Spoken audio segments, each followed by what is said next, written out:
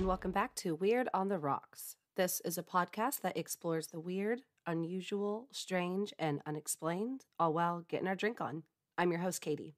Today, I'm going to be discussing a topic that has fascinated me for years and was one of the first topics I put down on my list when I decided to start this podcast, and that is the Dyatlov Pass incident. This is one of the world's most famous unsolved mysteries, and although it took place over 60 years ago now, nobody still knows the truth behind what actually happened. Usually, I cover topics that have some kind of closure or explanation, um, but this story is yet to find an answer. If you Google the Dyatlov Pass, you will find a variety of videos, articles, and forums, all of which seem to have a different opinion on what they think happened. However, it's all just opinion because experts, investigators, historians, and even the Russian government claim to still have no idea what the actual chain of events were when it comes to this incident. If you've heard about this before, I hope I can contribute some new information that you haven't heard.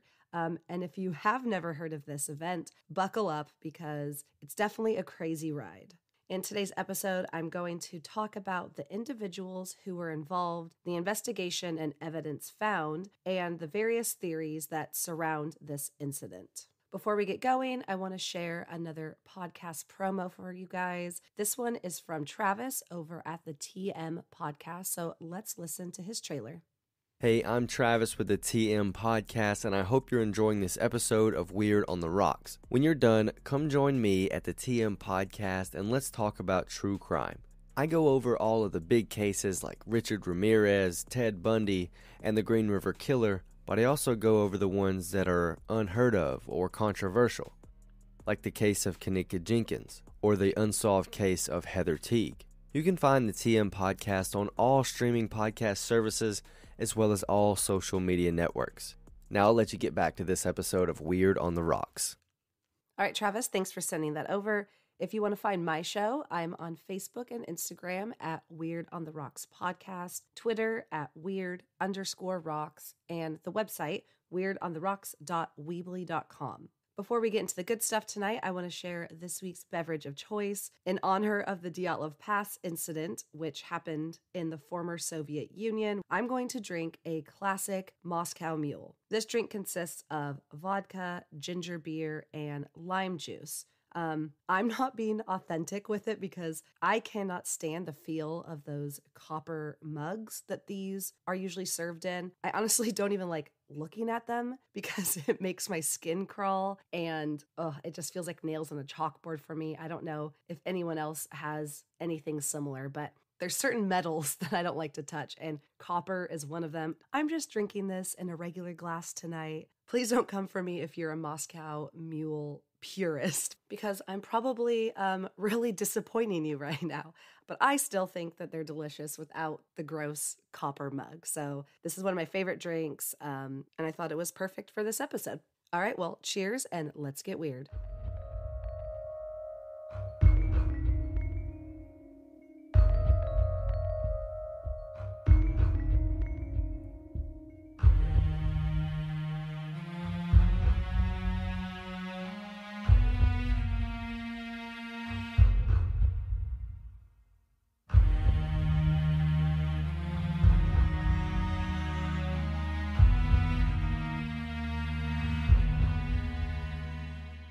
In 1959, a group of 10 individuals, eight men and two women, set out on a hiking and skiing expedition across the Ural Mountains in the Soviet Union. The group was formed by Igor Dyatlov, a 23 year old radio engineering student at the Ural Polytechnical Institute. Most of the members of the group were fellow students at the Institute. All of them were experienced grade two hikers and would receive their grade three certification upon the completion of this expedition, the highest level in the Soviet Union. Getting a grade three certification consisted of traveling at least 186 miles in a hike that lasts a minimum of 16 days, half of which has to be done in uninhabited territory, and 62 miles of the hike must be done in difficult terrain. The goal of this expedition was to reach a mountain seven miles away called Gora Otorten, which means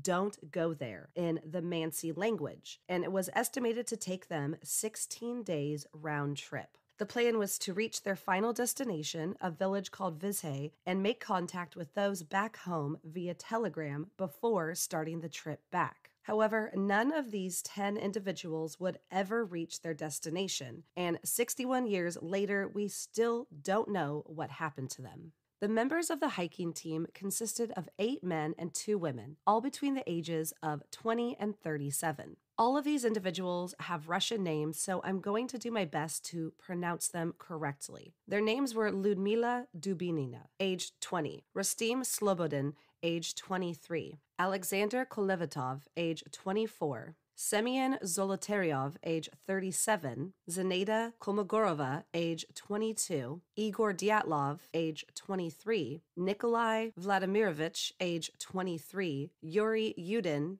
age 21, Yuri Doroshenko, age 21, and Yuri Krivonshenko, age 23. As you can tell, Yuri is a very popular name over there and is actually the Russian version of George, so three of them were named Yuri. All of them, with the exception of Simeon, age 37, were students at the Ural Polytechnical Institute, were members of the school's hiking team, and mostly majored in scientific fields such as engineering and hydraulics. Simeon was the only outsider who had not hiked with the group beforehand. He was planning a hiking expedition with another group, but when plans fell through, Igor Dyatlov invited him to hike with his group instead. All of the hikers were very experienced, were familiar with hiking protocol and regulations, and were very comfortable in the outdoors. The group loved to write poetry, play games, dance, and play music, and they even brought a mandolin along with them to play on their downtime. They also enjoyed writing and actually were hoping to make a little newspaper about their trip once they returned home, and took many photos with the intention of them being included in this paper.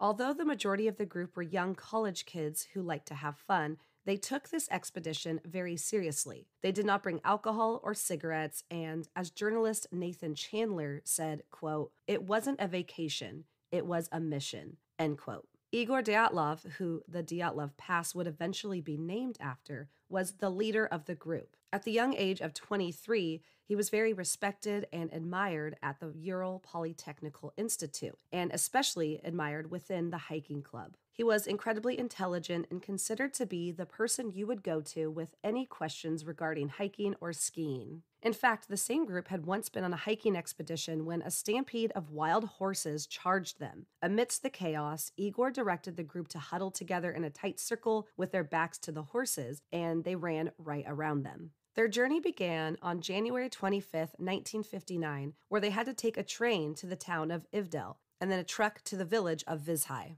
which is the last village to the north. There they spent the night and ate several loaves of bread to give themselves energy for the hike they would begin the next day. They started the trip on horse and sleigh, then eventually switched to skiing, and the horse returned to town. Within a day, team member Yuri Yudin began to feel very unwell. Yuri had rheumatism as well as a congenital heart defect and began to experience intense knee and joint pain. He decided to turn back while the other nine continued on their journey. The group utilized journals as well as several cameras to document their trip. The first few days, they traveled on relatively flat land, utilizing the skis they had brought along, and everything seemed to be going as planned. Photos later recovered from their cameras show the group smiling and posing, hugging, laughing, skiing, sitting around the fire, and writing in their journals. One photo even showed one of the young men playing in the snow, pretending to be dead as a joke. Their journals were also recovered and were mostly full of notes explaining what they were doing, what they were eating, how they were putting up the tent, etc.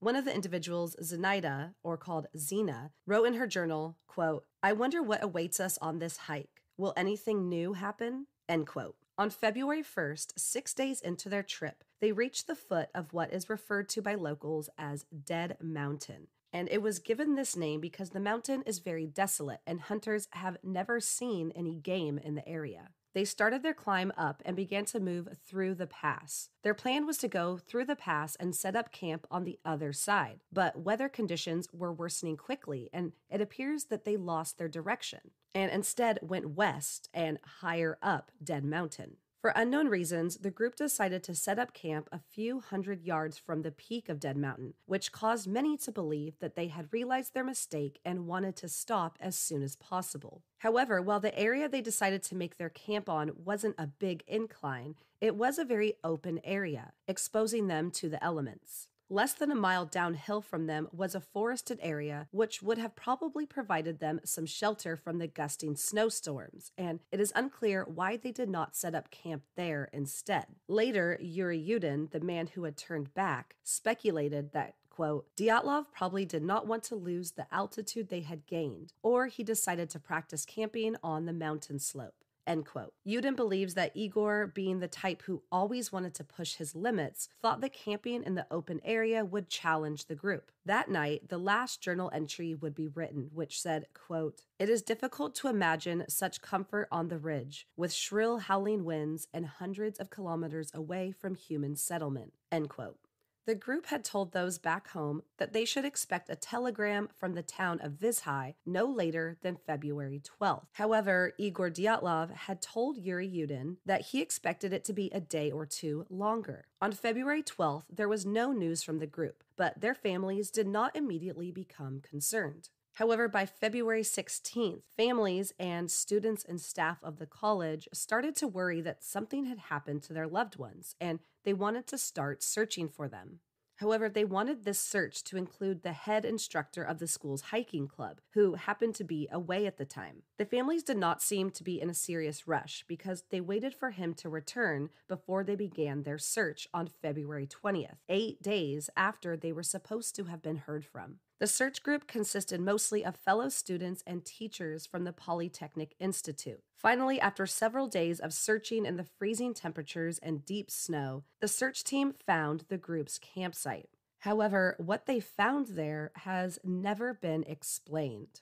The first thing the searchers saw was the tent, slightly collapsed and partially covered with snow. None of the nine hikers were in sight. Upon further inspection, it was discovered that the tent had several large slash marks in the side, which had been made from inside the tent, but the front zipper was still zipped up and locked. The tent was made from a very heavy duty canvas material, and cutting holes in the side would have been difficult. The packs and belongings from the group were all still inside the tent. Nine pairs of shallow footprints were seen in the snow, which led the search team down the mountain into the wooded area. Although the footprints were shallow and very clear to the eye, they started out in disarray, appearing as if they calmly scattered as they exited the tent. However, as the footprints went on, they became more orderly and looked as though they were walking in a single file line. Down in the wooded area, they discovered the remains of a small campfire, and under a cedar tree, the bodies of Yuri Doroshenko and Yuri Krivonoshenko. Both men were barefoot and only wearing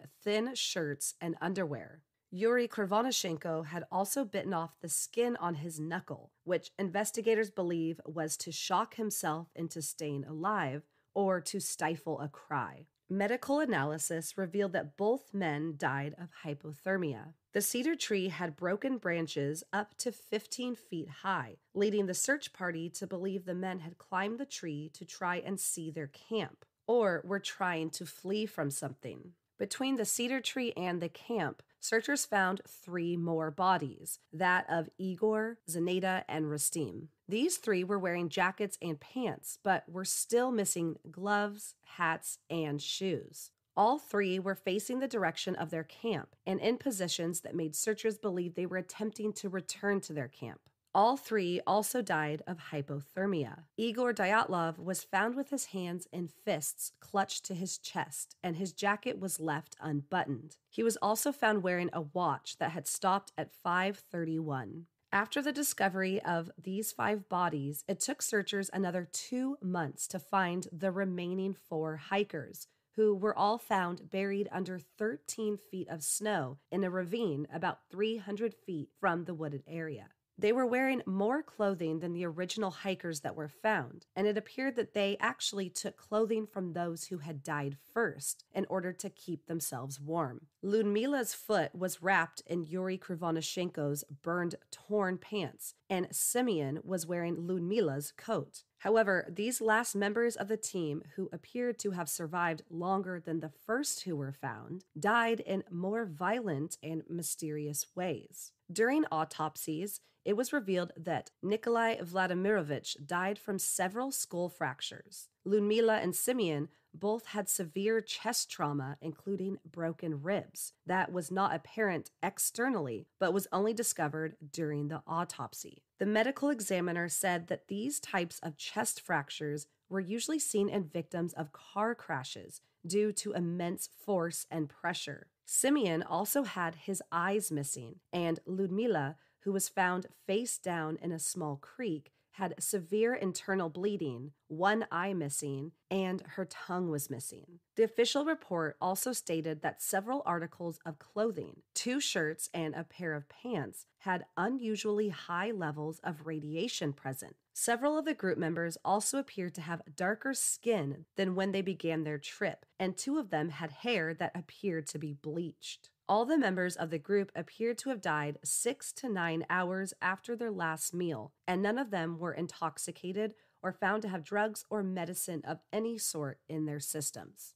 The first explanation that the Soviet government relayed to the public was that the group died from hypothermia. This was the belief due to the individuals being found in the snow in little clothing. 25% of sufferers of hypothermia remove articles of clothing, something called paradoxical undressing, which is caused by the brain malfunctioning, telling the body it is too hot when it's actually too cold. However, as the autopsies came back and more investigations were conducted, it was clear that hypothermia could not have caused all of the injuries seen. And it didn't answer the core question of why these young adults left their tent in the middle of the night. However, the Soviet government, which was under communist rule at the time, did not dig deeper into this incident. Almost immediately, they closed the case due to the absence of a guilty party. They claimed that these individuals' deaths were caused by the quote, spontaneous power of nature, end quote, but never explained what that natural force might have been.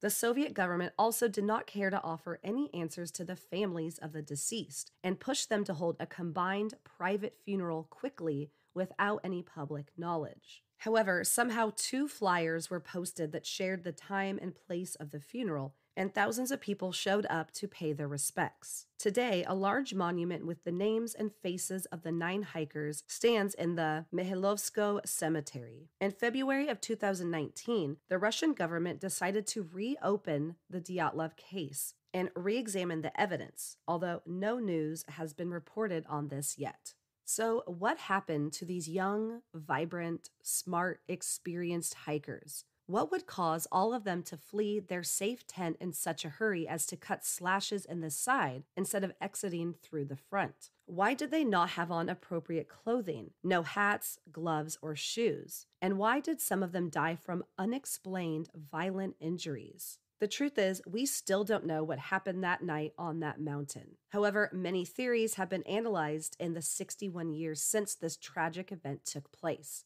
Today, I'm going to discuss 11 of these theories, although there are even more you can find online. The first and perhaps most widely believed theory is that their deaths were caused by an avalanche. This theory suggests that while the group was asleep in their tent, they heard the far off sound of an avalanche approaching or felt the rumble of the ground shaking beneath them. In a panic, they did not have time to find the key for the tent zipper or get dressed, and instead slashed open the side of the tent and ran out into the snow in what they were wearing. They ran as far as possible to get out from in front of the avalanche, but were not able to make it back to their camp and froze in the elements. Many think that their tent itself could point to an avalanche, as it was found slightly collapsed with a thin layer of snow covering it. In a 2014 article by author Benjamin Radford, he says, quote, "The group woke up in a panic and cut their way out of the tent either because an avalanche had covered the entrance to their tent or because they were scared that an avalanche was imminent.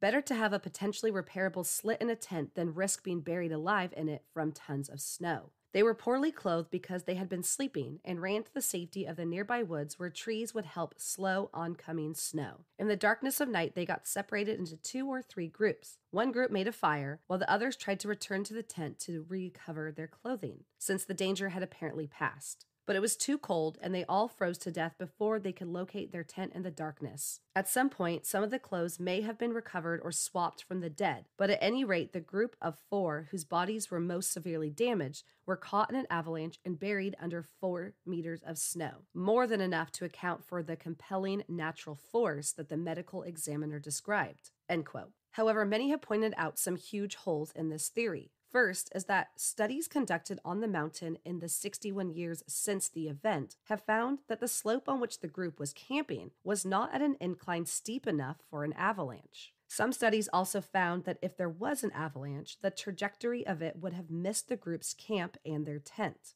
More than 100 expeditions have since been taken to the same area, none of which experienced avalanches or observed any signs of previous ones. In fact, the journal entries from the group that day mentioned that the snow layer was quite thin on the night they died, with no new snowfall. Many also point out that although the tent did have a layer of snow covering it and was partially collapsed, an avalanche would have completely covered it and knocked it down. There would also be other signs of an avalanche just occurring, such as debris left over. An avalanche picks up rocks and branches as it moves, and these remnants would be found surrounding the camp. Those who knew Igor Dyatlov, the leader of the group, also stated that he was a very experienced mountaineer and he would never have allowed his group to camp somewhere unsafe. The avalanche theory also does not explain the fact that the footprints leading away from the tent were found to be shallow and clear and did not appear to be from people who were in a rushed panic, fleeing from an avalanche.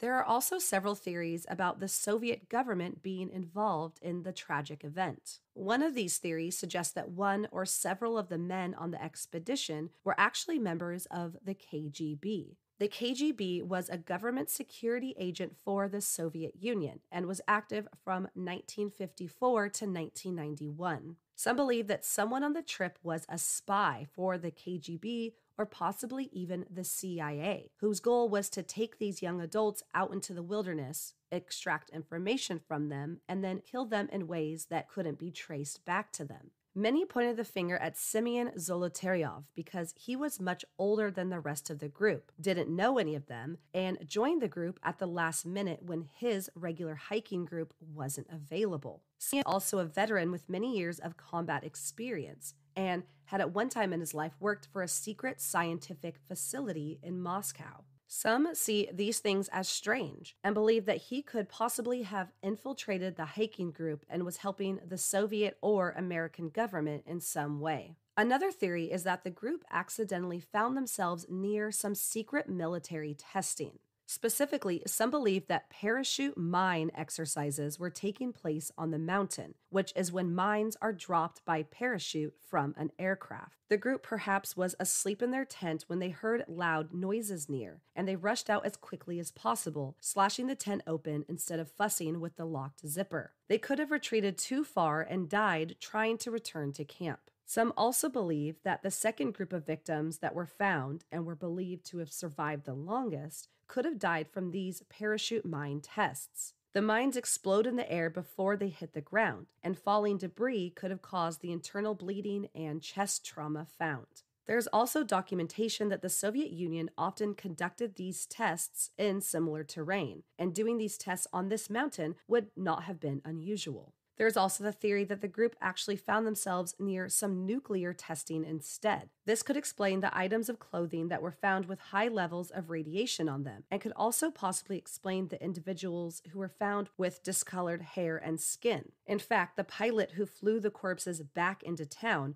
wouldn't load the bodies into his plane until he knew they were all placed in zinc bags, which would stop the spread of the radiation. Another odd detail is that there were more than 30 witnesses in towns nearby who claimed to have seen glowing orange balls in the sky the night that the group died. The balls supposedly moved slowly and took about 10 minutes to cover the skyline. Some members of the search party who later looked for the group also claimed to have seen these glowing balls. So, were these glowing balls in the sky somehow connected to some military or nuclear testing?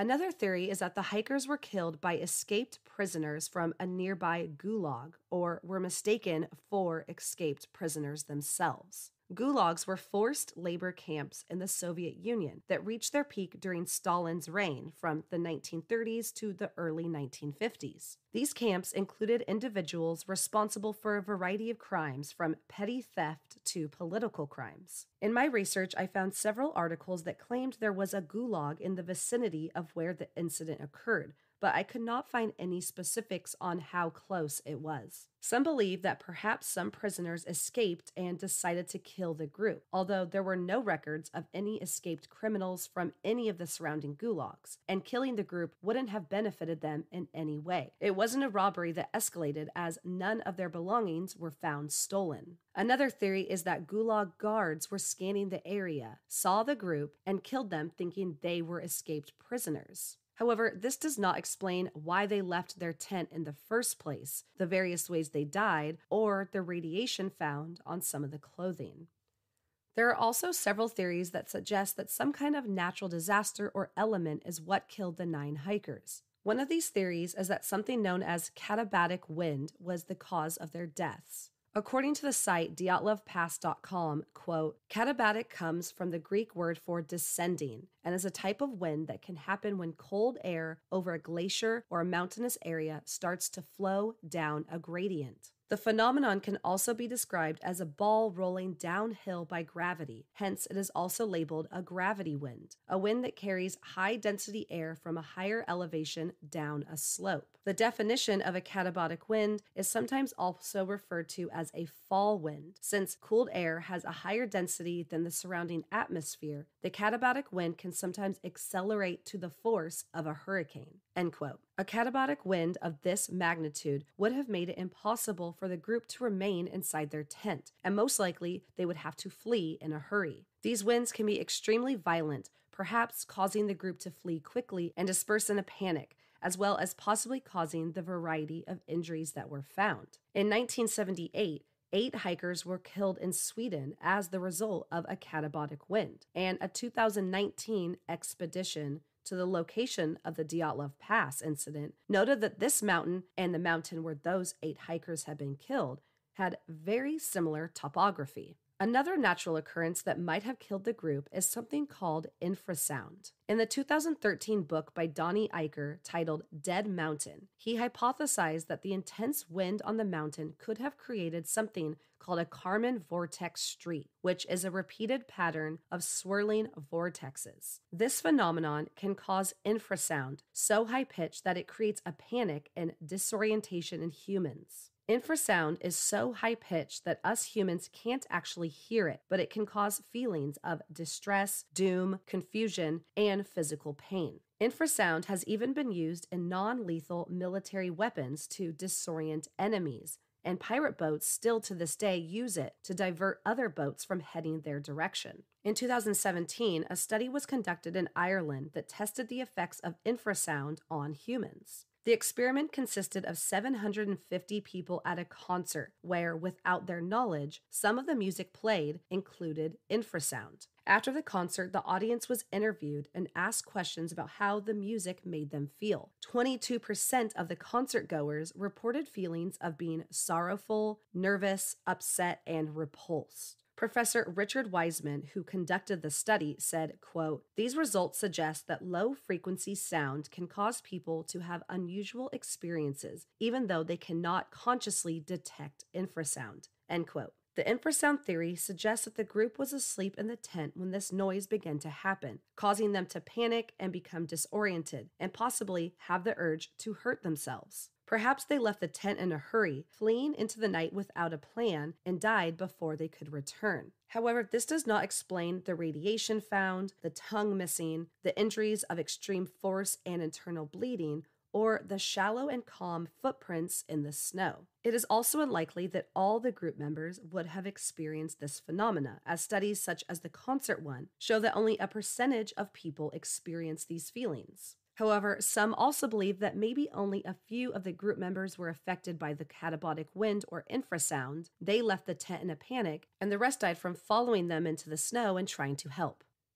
Along with these theories are countless more that perhaps don't have as much reasoning or evidence behind them, but are more mythical and supernatural in nature. There is the theory that the group was actually killed by Bigfoot, or a Yeti as they are called in Russia. One of the main reasons behind this theory is because one of the cameras from the trip contained a photo that cannot be explained. This photo was the last one taken on the camera of Nikolai Vladimirovich, in which you can see a large figure peeking out from behind a tree. The photo is blurry and taken from far away, and no face can be detected. In fact, one journal entry written by a group member said, quote, Now we know snowmen exist. End quote. However, some believe that this entry could have been written jokingly and actually was part of their pretend newspaper they planned on creating when they returned. Perhaps they took that photo of one of them peering out from behind the tree, wrote the journal entry, and later hoped to use it as a funny story. Many believe that the Yeti theory is only making light of this tragedy and trying to blame their deaths on something based in fantasy. A theory has also been presented that blames aliens and UFOs for their deaths.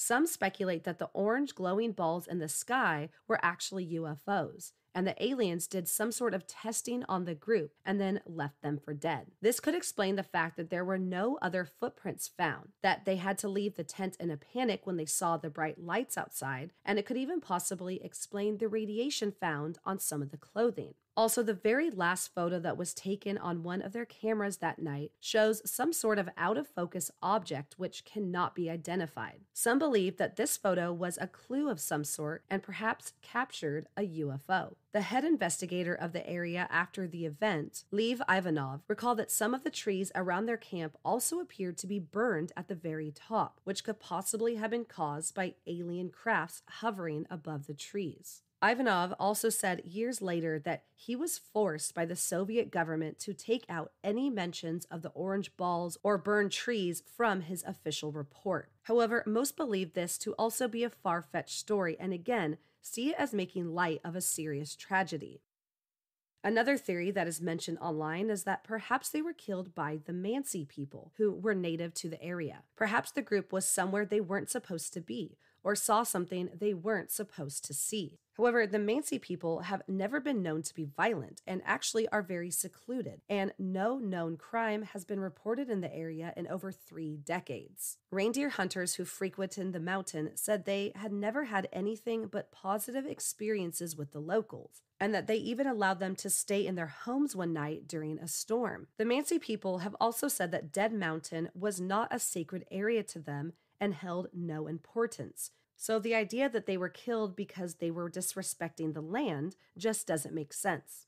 There is also another theory that includes a small cooking stove that the group brought with them that was actually designed and built by Igor Dyatlov. This theory suggests that the group set the stove up and it began to smoke uncontrollably and they had to flee in a hurry. Many bring up the fact that cutting the tent from the inside points to something happening inside the tent that they needed to flee from, not something from outside the tent. It is possible that the stove malfunctioned and they couldn't breathe and needed to get out as fast as possible. Also, one of the last photos taken from the day prior show one of the group members smiling, wearing a jacket that appears to have been burned in several places. Perhaps the stove was prone to malfunctioning. However, when the stove was found, it did not appear to have any smoke residue, and this also wouldn't explain why they traveled so far from the camp. If they were simply trying to get away from the smoke, they would most likely just go right outside the tent, and there would be no reason for them to scatter so far.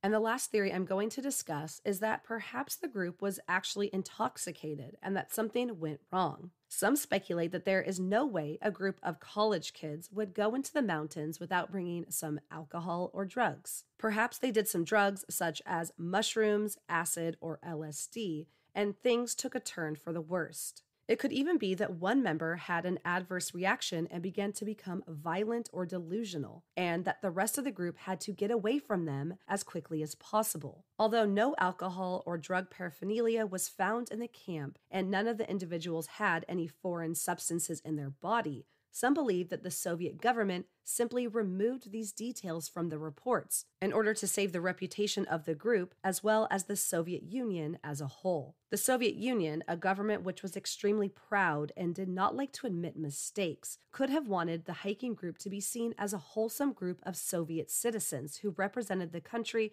in a positive light and not some partying college kids. However, everyone close to the group members say that they were responsible, smart, logical people and they wouldn't jeopardize their hard work by partaking in drugs on their trip. The only surviving member, Yuri Yudin, also was adamant that they did not bring any drugs or alcohol on the trip with them. Yudin, who died in 2003 at the age of 75, said that he always felt extreme guilt for leaving his friends behind and not being with them on that fateful night and he visited the cemetery where the monument was every February 2nd to pay his respects to his friends. After his death, he was buried next to the Dyatlov Pass monument. Yudin did not believe that his friends died from a natural occurrence because there were too many strange details that did not add up. He instead believed that the group died from some sort of military testing or exposure from nuclear testing. Of course, as with any unsolved mystery, there are people who doubt Yudin's story and believe that he was working with the government and knew more than he was telling.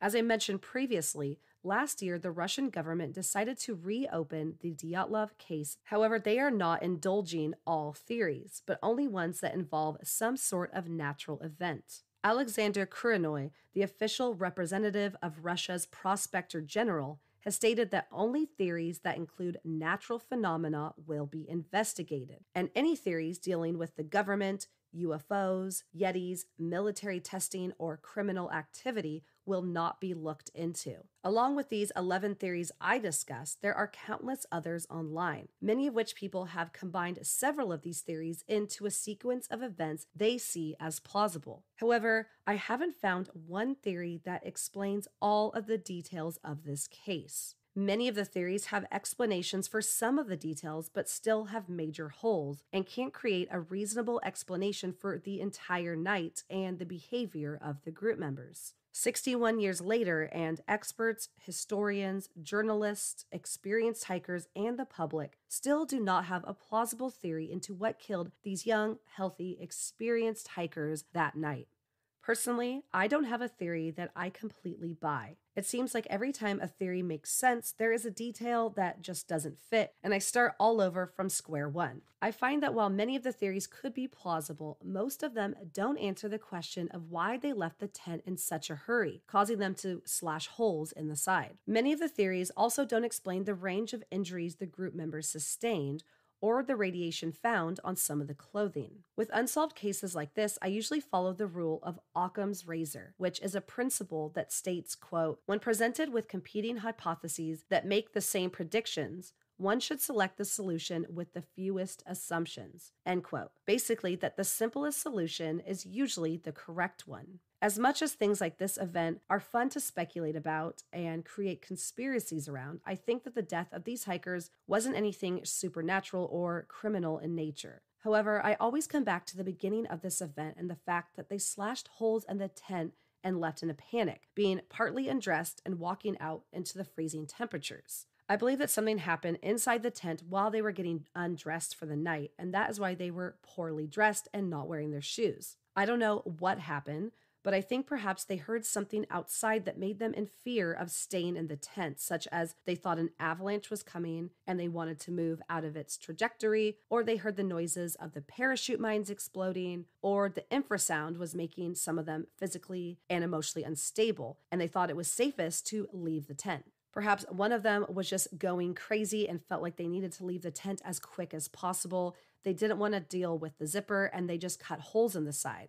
Then the rest followed them out to help them. I think they headed down towards the wooded area and broke off tree branches to make a fire. After a while, several of them tried to return back to the tent to retrieve some supplies, knowing that the tent was no longer usable since there were holes slashed in the side. They then weren't able to return and froze to death on their way back. I have found online that some believe the remaining members tried to dig a trench or make a snow shelter of some sort and it collapsed on them, causing the extreme chest trauma and broken ribs with little external injury, which could happen from that much snow falling on you. Some believe they simply could have fallen off of an ice shelf and down into the ravine, and that the fall itself is what killed them and caused those injuries. And both of these theories definitely sound plausible to me. I believe that the group members who had darkened skin and bleached looking hair was simply due to being out in the elements for so long, and they basically got an extreme sunburn and the sun lightened their hair. However, I have no explanation for what could have caused the missing tongue or eyeballs. Some speculate that Ludmila, whose tongue was missing, was also found face down in a stream, so perhaps the decomposition in the water caused her tongue to fall out. The tongue was never found,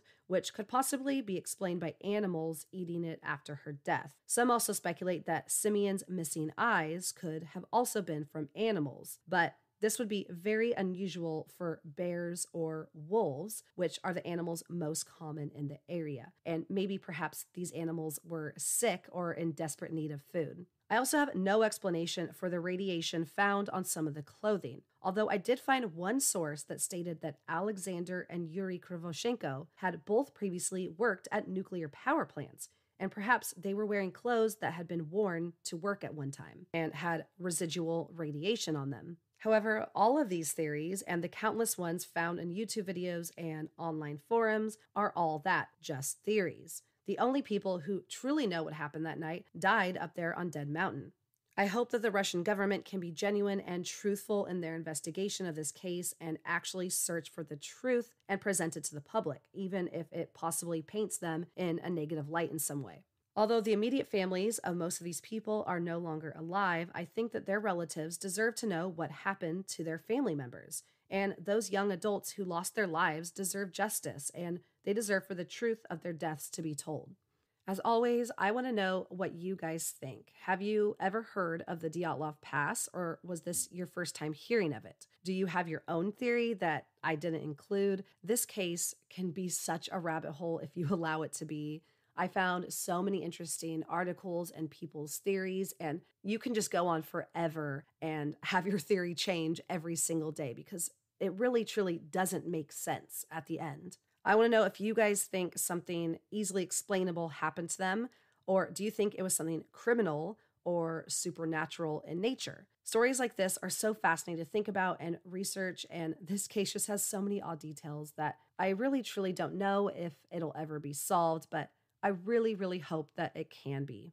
As always, you can find me on Facebook and Instagram at Weird on the Rocks Podcast, Twitter at Weird underscore rocks, and the website weirdontheRocks.weebly.com. Please come out and chat with me and let me know your thoughts on this episode. Thank you, as always, for hanging out with me today. I appreciate every single one of you. And until next time, cheers and stay weird.